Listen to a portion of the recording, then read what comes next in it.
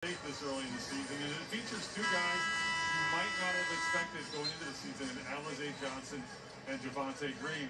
Now, Alize Johnson over Tony Bradley is a bigger surprise given all we heard about the Bulls' size concerns, but Billy talked about how Alize's activity, active hands, and relentless rebounding fit into their defensive scheme. As for Javonte Green, Stacey, I got to give you credit, man. You called this one early in the preseason. You, get, you can't keep that guy off the floor.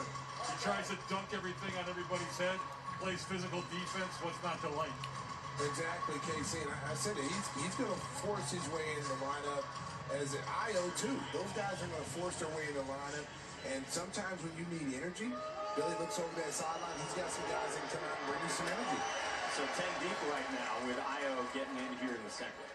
And you also got to remember, Coby White's going to be factoring here as well when he comes back. So, I mean, there, there's going to be a lot of a lot of toys in the toy chest for, for Billy Donovan.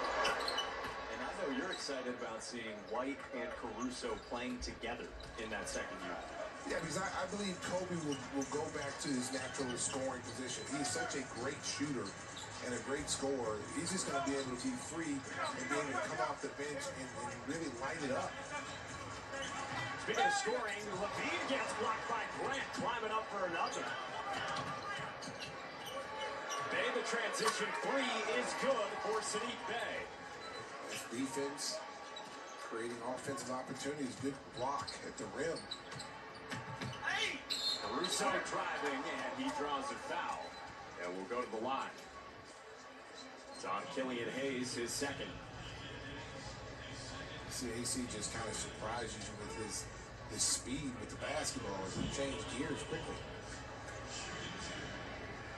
Sunday after the Bears take on the GOAT, Tom Brady flipped to NBC Sports Chicago for the GOAT of Bears postgame shows, the football after show, presented by St. Xavier. Join Lance, Alex, Olin, and Cap as they break down Bears and Bucks. Well, it was the second quarter last night when Alex Caruso was at the lock getting those MVP chants. Second quarter again tonight. He got him before Zach LaVine did in the fourth last night. Yeah, I mean, he's, he's a fan favorite. He's a big fan favorite in Los Angeles. They hate to see him go. They still talk about it to this day. But the Lakers would love to have him. Williams is on Jerami Grant. That's a tough fall away. And the rebound to Caruso. LaVine running. And stopping. Slam the jammel. It's his first point. Transition.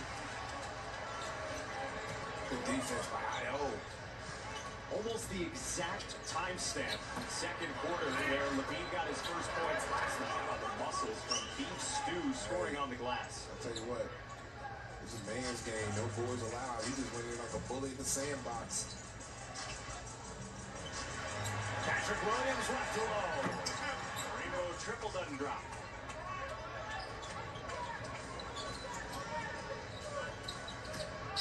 Bulls by three, coming up on five to play first half.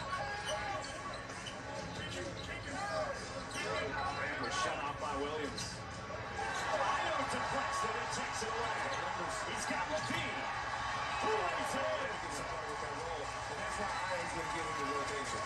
Defense. He get out here, he plays the passing lanes, he's athletic. And again, once again, the bench has come in and sparked the Bulls. Chicago zone, Ayo Dosunmu getting involved here. Ayo! Give it up to Zach.